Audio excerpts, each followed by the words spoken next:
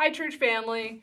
If you haven't already heard, it is with a heavy heart that I share with you the passing of Bev Chapman, one of our beloved members.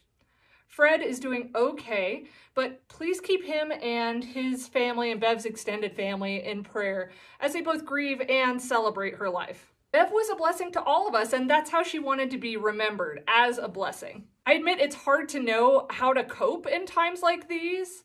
We've already experienced so much grief, and a lot of us weren't able to say goodbye to Bev in the way that we wanted to. You know, we were robbed of months of hugs and smiles, and Bev saying, when we say, hey, it's good to see you, her saying, it's good to be seen. But I'm thankful for all the time that we did have together, and we can cherish that. It's good to remember that there are many stages of grief. There's denial and depression, bargaining, anger, and acceptance. And they don't work in a linear path. Even in the course of a day, we might experience a little bit of all of that.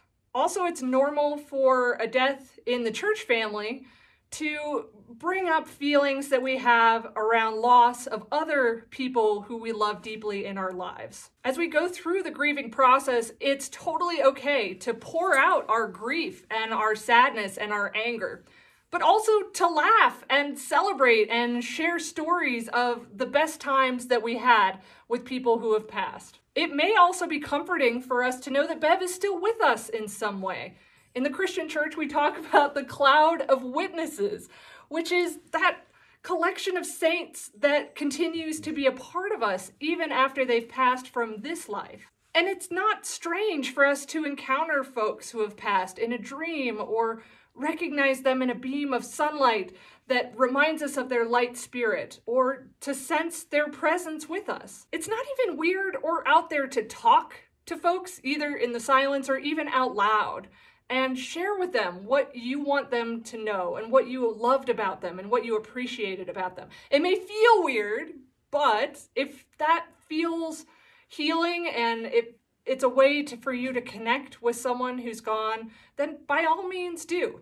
That cloud of witnesses that now includes Bev is a part of the unbreakable, whole, complete body of Christ. And as a part of that cloud of witnesses, she will always be with us. In the words of John O'Donohue, let us not just look to Bev from the distance of memory, where we would grow lonely without her. She would want us to find her in presence, beside us when beauty brightens, when kindness glows and echoes eternal tones. May Bev and all those who've passed who were so deeply loved by us continue to inspire us to live each day with a generous heart, to serve the call of courage and love until we see their beautiful faces again in the land in which there is no more separation. Amen.